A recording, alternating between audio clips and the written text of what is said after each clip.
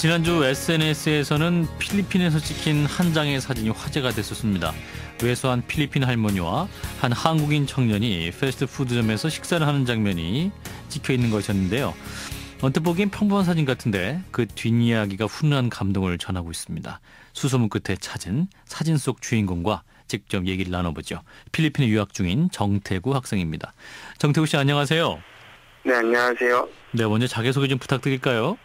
저는 필리핀 바기우에 살고 있는 네, 정태구입니다. 예, 지금 바교 대학에서 공부하고 계신 거죠? 네, 그렇습니다. 그렇군요. 정태구 씨가 지금 찍힌 사진이 지금 굉장히 화제가 되고 있는 거 알고 계시죠? 아, 네, 저도 듣고 있습니다. 예. 사진 속의 할머니랑은 무슨 사이였던 거예요? 바기우에 이제 시내 도로가 있는데요. 예. 네, 거기서 이제 처음 뵌 할머니였어요. 아, 그래요. 이제 사진과 함께 SNS에 올라온 내용을 보면 이제 할머니가 계산대 앞에서 주문을 하고 머뭇거리고 계실 때 그러니까 돈이 없으셨던 것 네. 같아요. 근데 이제 그때 네. 태구 학생이 선뜻 계산을 해줬다면서요?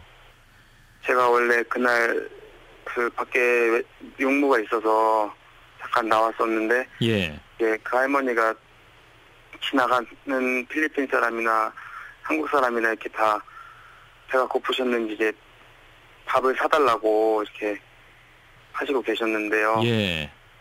네, 할머니가 이제 제 손을 잡으시면서 밥 좀 사달라고 이렇게 제스처를 하셨어요. 예. 그래서 제가 이제 KFC 들어가서 이제 이거를 사드려야 되나 말아야 되나 고민을 하다가 제 할머니가 그 모습을 보시고 이제 KFC 안으로 들어오셨어요. 예. 이제 거기 있는 이제 가드들이 이제 거지들을 보면 이제 밖으로 나가라고 안- 사 먹지 않을 거니까 예, 예. 이렇게 밖으로 내보내는 이런 모습을 보면서 제가 이제 마음이 안 좋아서 그때 사드, 할머니 생각도 나고 해서 사드려야겠다는 마음이 들어서 예. 원하시는 거 고르시라고 이렇게 말씀하셨는데 이제 카운터에서 돈이 없는 걸 보고 이제 밥을 먹으려면 이제 한 4, 5천 원의 돈을 내야 된다고 예. 그래서 이제 제가 거기서 이제 그 돈을 꺼내서 이제 밥을 사드리고 같이 밥을 먹었죠. 그러니까 이제 그 행색이 네. 굉장히 초라한 분이었고 이제 돈을 낼 만한 네네. 형편이 안 돼 보이니까 그 식당에서는 네. 지금 할머니 내쫓으려고 했는데 그러니까 이제 네, 우리 정태구 학생이 일행이다 하면서 막은 거네요. 네, 네, 그쵸. 예, 예. 그렇게 된 거죠. 그래요. 네. 그러면서 이제 식사도 사주시면서 같이 드셨다면서요?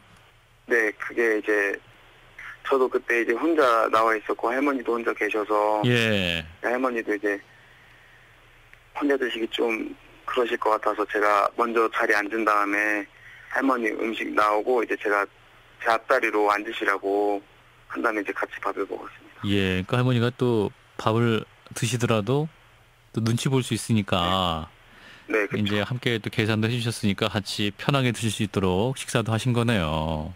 할머니가 이제 오랫동안 밥을 안 드셨는지 먹으면서 손이 많이 떠시더라고요. 아, 손을 떠시면서. 마음이 좀, 네, 좀 마음이 안 좋아요. 아, 그래요. 그럼 또 근데 이제 감사합니다. 그 장면이 어떻게 사진 찍혔습니까? 제가 제가 인터넷에 올라온 사진 보니까 진짜 무슨 몰래 카메라 같이 그렇게 사진이 찍혔던데. 예. 네, 그 찍으신 학생이 예. 이제 원래 제가 이제 중간에 제가 이제 사드리려고 할 때 온 거였어요. 예. 사드리려고 할 때 들어온 거라서 이제 제가 혼내는 모습만 보고 이제 이제 저한테 복 받을 거라고 이렇게 얘기를 하더라고요. 아, 사진 찍으신 분이 사진 네. 찍은 분이요. 아, 그리고 그 이제 제 예. 네, 네, 이제 복 받을 거라고 이게 제 어깨를 치면서 얘기를 하더라고요. 그래서 제가 이제 같이 밥을 먹고 있는 도중에 이제 그 여학생이 잠깐 와서 빨리 찍고 가더라고요. 아, 예, 예. 아, 저는 네, 그렇게 찍혔는데 저는 이렇게 커질지 몰라가지고 그래요. 그 필리핀 여학생이었나 보죠? 그 사진 찍었던 분은? 네 필리핀 현지 여학생이었어요.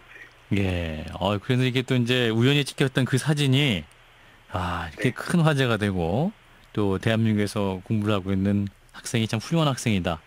이 소문이 이렇게 퍼지게 됐어요. 이 필리핀 현지는 물론이고 영국 매체도 소개됐다면서요? 기분이 어떠셨어요? 네 그건 제가 처음 듣는 소리여서요. 아, 그래요? 아, 그게 좀 알려졌답니다. 예, 예. 아 네 감사합니다. 그 지금 한국에 지금 그러면 부모님이 계신 건가요? 아니면 필리핀에 같이 계시나요? 네 한국에 한국에 계십니다. 와, 그러면 우리 아들의 소식에 굉장히 기쁘셨겠네요. 네 좋아하시더라고요. 뭐라고 하세요? 잘 키웠다고 하시더라고요. 우리 아들 잘 컸네 이런 말씀도 하셨고 네, 예. 또 이제 그 필리핀 이제 할머니의 밥을 사주시면서 한국에 계신 할머니 생각도 많이 나셨다고 하셨는데 그러면 네. 지금 한국에 할머니가 생국인에 계신 겁니까? 할머니가 저 초등 저 어렸을 때 할머니가 돌봐주셨는데요. 예.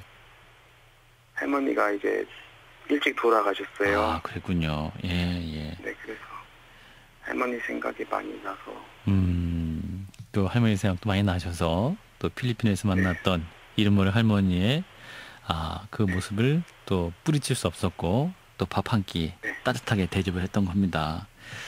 그래요. 참 부모님도 흐뭇하시겠지만 이 소식을 들은 많은 또 한국 사람들이 굉장히 기뻐했던 것 같아요. 또 부모님이 지금 한국에 계신다고 하는데 방송 들으실 거 아니에요. 네네 그 부모님께 또 공부 열심히 하고 돌아가겠다 한 말씀 하신다면 엄마 아빠 제가 외국에 나와서 잘하고 있으니까 너무 걱정하시지 마시고 그리고 군대가 있는 동생 인구한테도 군대 생활 잘하고 네, 제대하고 보자고 그- 사랑합니다 이렇게 전하고 싶습니다. 네, 그래요. 자, 부모님께 제가 전해드리고 싶은 말은 아드님 참 잘 키우셨습니다. 이런 말씀을 전해드리고 싶네요. 건강하시고 또 하시던 학업 네. 잘 마무리하시면 좋겠어요. 고맙습니다. 네 감사합니다. 오늘 일부에서는 필리핀 현지에서 황제 관광을 하는 어글리 코리안 소식을 전해드렸었는데 자 3부에서는 이렇게 또 선행으로 주목받은 한인 대학생을 소개해드려서 좀 가슴이 따뜻했네요. 네, 필리핀에 공부하고 있는 정태구 학생이었습니다.